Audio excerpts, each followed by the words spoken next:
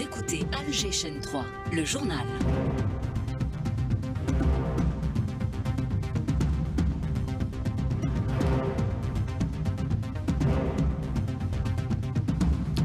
Il est 19h sur Alger Chaîne 3. Le journal de la rédaction vous est présenté tout de suite par Sofiane Saouli et tous les membres de la rédaction. Monsieur Dahmoun, bonsoir, bonsoir à tous. Au sommaire de cette édition, cette initiative présidentielle de dialogue national inclusif annoncée par Abdelmajid Tebboul, le président de la République, à son investiture pour un second mandat. Formation politique et société civile adhèrent et saluent. Le président de la République, qui pour les cinq années à venir a déroulé sa politique socio-économique basée sur la poursuite de chantiers en cours, logement, pouvoir d'achat et création d'emplois, Abdelmajid Tebboune qui table sur l'autosuffisance en céréales, les experts en parlent. Le ministre des Affaires étrangères s'est entretenu aujourd'hui avec son homologue libanais après les dernières attaques sionistes lui exprimant les condoléances de l'Algérie. À la demande du Liban, l'Algérie appelle le Conseil de sécurité à une réunion d'urgence vendredi. Adoption historique à l'Assemblée générale de l'ONU de la résolution palestinienne pour la fin de l'occupation d'ici un an. Elle a décroché 124 voix. L'Algérie avait plaidé pour son application. Alors que le Royaume est confronté à une vague massive de migration réprimée par les forces de sécurité, le Maroc s'apprête à connaître samedi prochain de grandes manifestations, cette fois-ci contre la corruption généralisée. La rentrée scolaire, c'est dimanche prochain, cela se prépare, de nombreux établissements scolaires ont été réceptionnés, des dizaines de nouvelles écoles primaires dans la wilaya de Djelfa. Et puis on parlera du lancement de la première journée du championnat de Ligue 1 dès demain.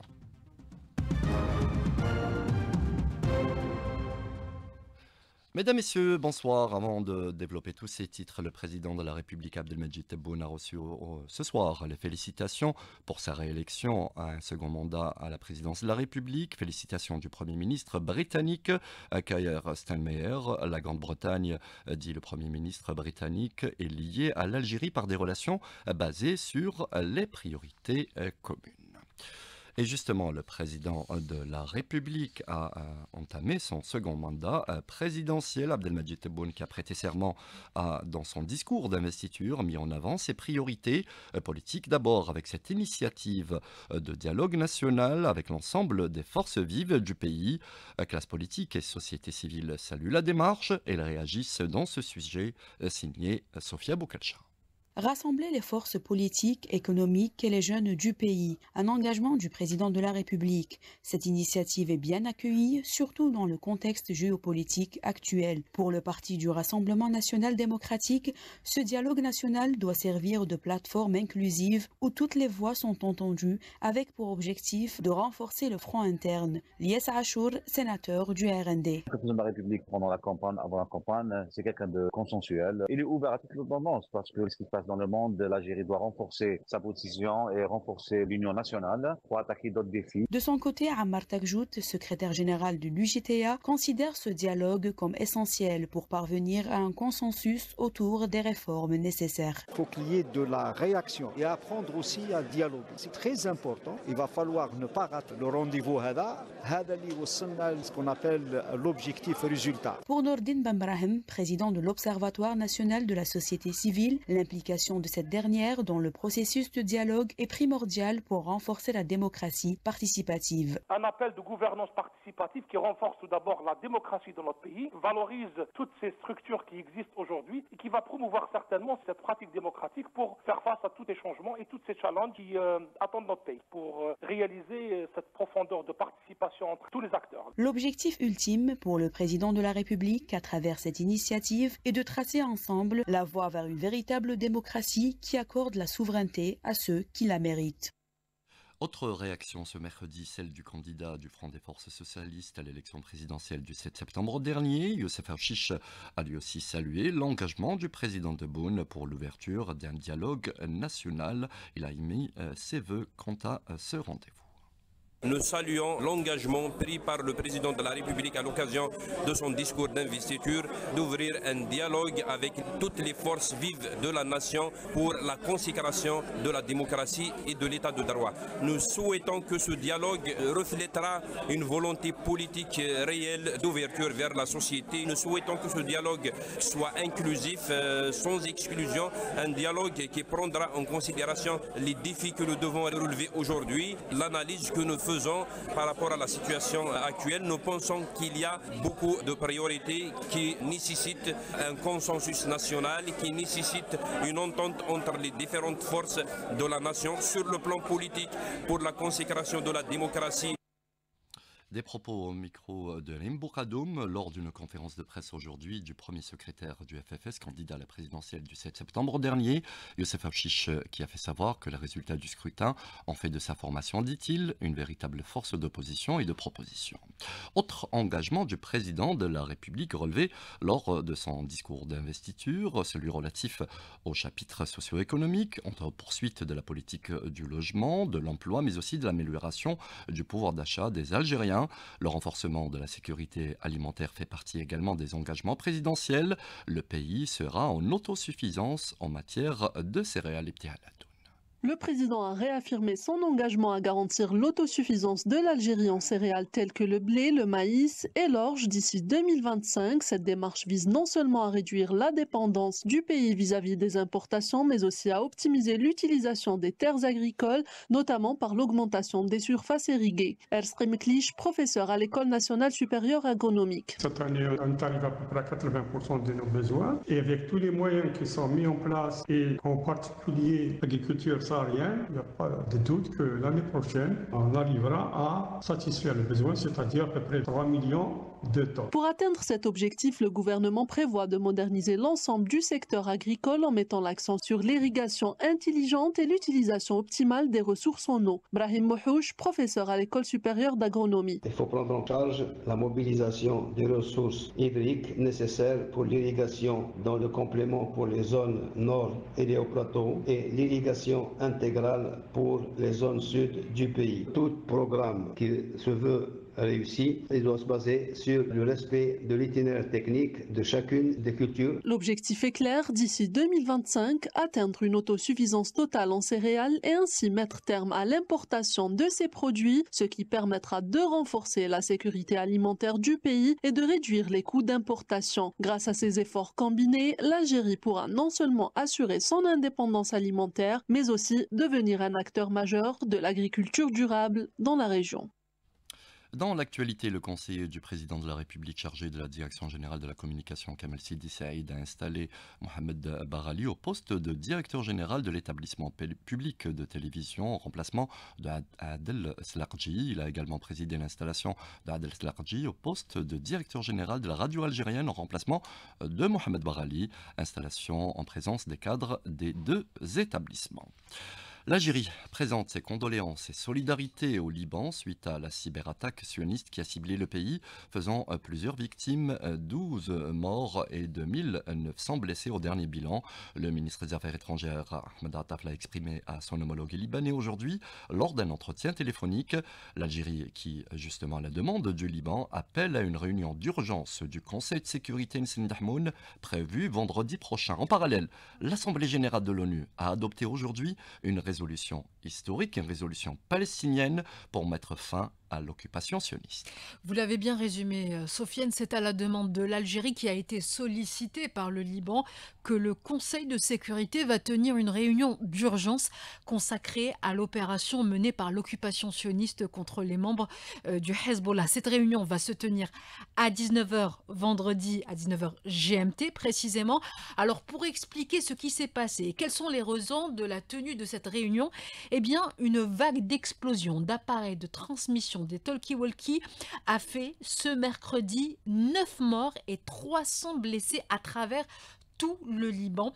Une opération menée par l'occupation qui avait déjà hier mené le même type de manœuvre en faisant exploser à distance et simultanément les beepers de membres du Hezbollah faisant 12 morts parmi les membres du mouvement libanais et plus de 2700 blessés. L'occupation n'a évidemment pas, et comme de coutume, commenté ces attentats, mais avait annoncé auparavant, quelques heures auparavant, qu'elle allait étendre la guerre de Raza au Liban.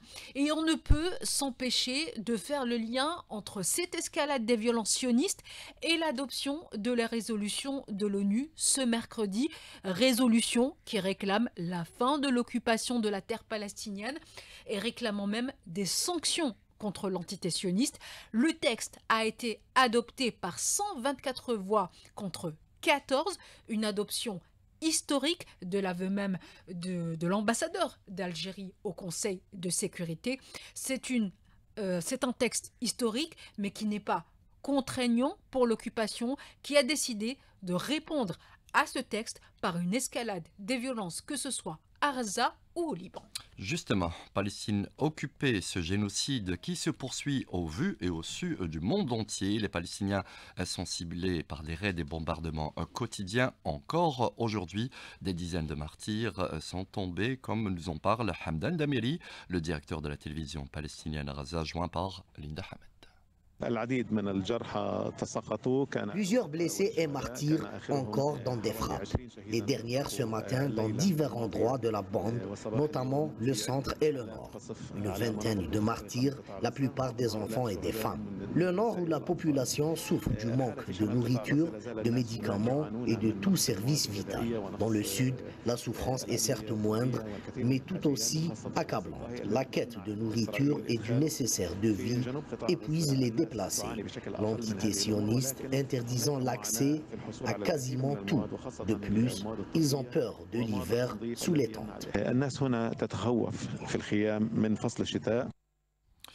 Direction à présent le Maroc pour parler des crises multidimensionnelles qui le secouent. Des milliers de migrants continuent à travers les forces à, justement à faire face aux forces de sécurité pour une migration de masse par l'enclave espagnole de Ceuta.